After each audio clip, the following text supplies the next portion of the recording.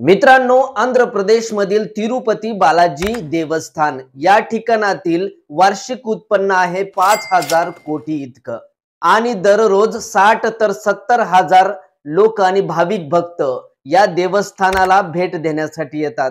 आणि ज्या वेळेस सण उत्सव असतो त्यावेळेस हीच संख्या एका लाखाच्या पुढे ही चालली जाते. हे भगवान व्यंकटेश्वराच्या मंदिराला जे जे भाविक भक्त भेट देण्यासाठी येतात या ठिकाणातील भक्त प्रसादाला खूप महत्त्व देतात. आणि तिरुपती बालाजी या ठिकाणातील जे लाडू आहेत ते एवढे प्रसिद्ध आहेत जो ही भाविक भक्त या ठिकाणी येतो. तो लाडूचा प्रसाद घेऊनच घरी परतत असतो. या ठिकाणी असलेला लाडूचा प्रसाद ज्याच्यामध्ये शुद्ध गाईचं घी वापरले जातं आणि त्याच्यामध्ये बेसन पीठ असेल किंवा त्याच्यामध्ये काजू आणि बदामचा वापर केला असतो. परंतु या ठिकाणाहून अशी एक धक्कादायक बातमी समोर आलेली आहे ज्याच्याबद्दल ऐकल्यानंतर अनेक हिंदू जनमनामध्ये असंतोषाची लाट वाहत आहे. मित्रांनो या ठिकाणी जे लाडू बनत आहेत ही परंपरा गेल्या तीनशे वर्षापासून आंध्र प्रदेशच्या तिरुपती बालाजी मंदिरात चालत आहे. अनेक भाविक भक्त या लाडूचे खूप प्रेमीही असतात. चंद्रबाबू नायडू यांनी रेड्डी सरकारवर एक आरोप केलेला आहे आणि हा आरोप आहे लाडू बद्दल जे प्रसादासाठी या मंदिरामध्ये भाविक आणि भक्तांना लाडू वाटले जातात त्याच्यामध्ये माशांचं तेल गाईची चरबी आणि डुकराची चरबी वापरण्यात आलेली आहे. आणि याचा पूर्ण रिपोर्ट आणि संशोधनासाठी या ठिकाणातून काही लाडू गुजरातच्या लॅबला पाठवण्यात आले. ज्यावेळेस अठरा सप्टेंबरला लॅब मधून रिपोर्ट आला त्या रिपोर्टला ऐकल्यानंतर देशात याच्याबद्दल खळबळी उडालेली आहे. गुजरातची लॅब नॅशनल डेअरी डेव्हलपमेंट बोर्डने हा रिपोर्ट जारी केलेला आहे आणि पब्लिकली चंद्रबाबू नायडू यांनी सुद्धा सोशल मीडियावर या रिपोर्टला दाखवण्याचा प्रयत्न केलेला आहे.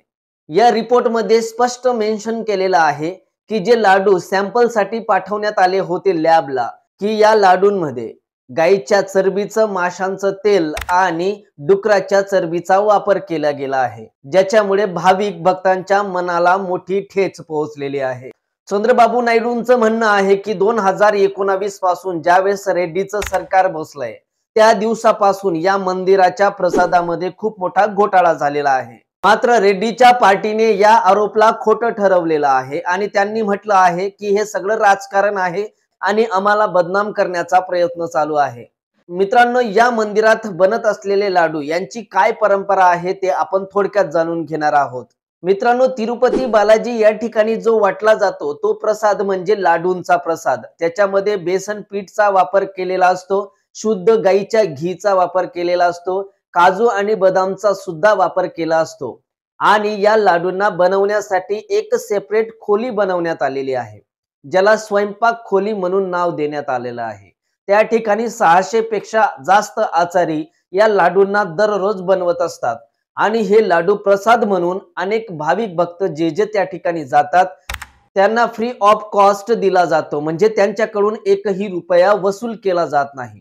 परंतु ज्या लोकांना एक्स्ट्राचे हे लाडू पाहिजे असतील प्रसाद म्हणून ते त्या ठिकाणाहून विकत सुद्धा घेऊ शकतात. लाडूंमुळे या ठिकाणी या मंदिराचं उत्पन्न जवळपास पाच हजार कोटी रुपये वार्षिक आहे. त्याच्यानंतर हे लाडू बनवत असताना जे आचारी असतात त्यांना दररोज कोरे कपडे परिधान करावे लागतात आणि केसांवर त्यांना एकही केस ठेवावा लागत नाही. अशा पद्धतीने या लाडूंना बनवण्यात येतं. मित्रांनो प्रश्न असा आहे की गेल्या तीनशे वर्षापासून चालत आलेली ही परंपरा आज अचानक याच्यामध्ये या गोष्टी कशा आल्या आणि याच्यावर आता पूर्णपणे तपास सुरू आहे आणि याच्यामधून कोणत्या गोष्टी येतात बाहेर त्याच्यावर अवलंबून राहील की रेड्डी सरकारने जे काही केलेलं आहे ते भ्रष्टाचार आहे किंवा त्यांच्यावर केलेले जे चंद्रबाबू नायडूने आरोप आहेत ते खोटे आहेत का? हा प्रश्न तर येणाऱ्या काळामध्येच आपल्याला समजेल.